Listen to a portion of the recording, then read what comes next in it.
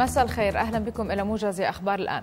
أكد الائتلاف الوطني لقوى الثورة والمعارضة السورية أن هيئة تحرير الشام النصرة سابقا ارتكبت أعمال قتل بحق المدنيين بالإضافة للتضييق والملاحقة وخاصة خلال هجومها الأخير على مخيمات ومواقع مدنية فيها فصائل من المعارضة في مدينة إدلب.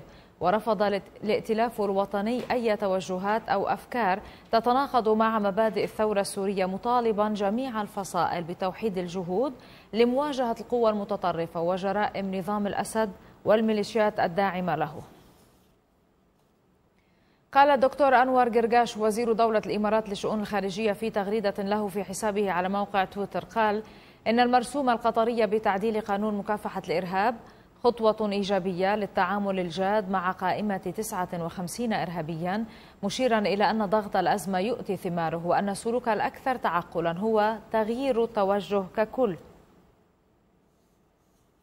قتل شخصان على الأقل في جزيرة كوس اليونانية وأصيب نحو 360 شخصا بجروح في مدينة بودروم التركية الساحلية إثر زلزال ضرب محيط بحر إيجا وبلغت قوته 6 درجات وسبعة أعشار درجة.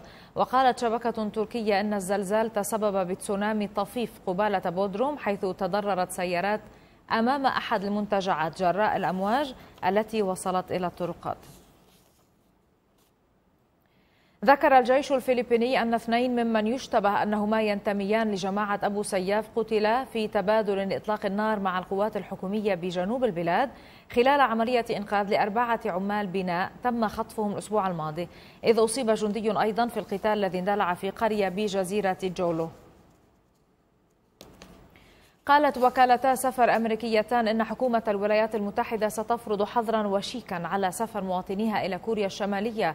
وأوضحت وكالات السفر أن الحظر سيتم إعلانه في السابع والعشرين من يوليو تموز الجاري وسيدخل حيز التنفيذ بشكل رسمي بعد شهر من الإعلان بحسب صحيفة ديلي ميل بريطانية حيث تلقت السفارة السويدية إشعارا بشأن الحظر الأمريكي لكن دون توضيح ما إذا كان منعا مؤقتا أم أنه سيظل مفروضا إلى حين صدور إشعار آخر.